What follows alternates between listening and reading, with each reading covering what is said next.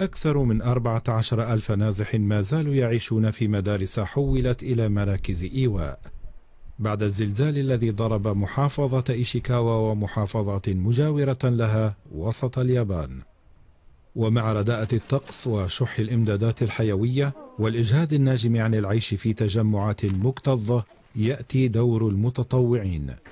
في محطتنا الأولى بقي قسم من فريق المتطوعين لمد يد العون إلى النازحين في هذه المدرسة.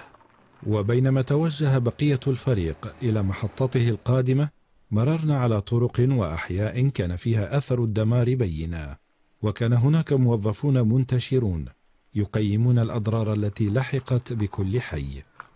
في مدرسة سوزو التي حولت هي أيضا إلى مركز لإيواء النازحين بعض من عادوا إلى منازلهم بعد إعادة تأهيلها جاءوا مرة أخرى إلى مركز الإيواء ولكن لتقديم يد العون لمن بقي فيه.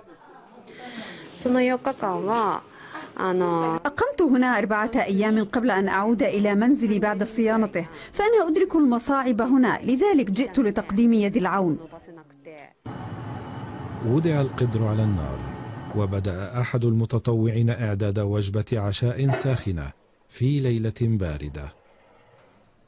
من النازحين أيضا سيدات تطوعن لتجهيز الوجبات ونقلها من أجل توزيعها على شركائهن في المحنة.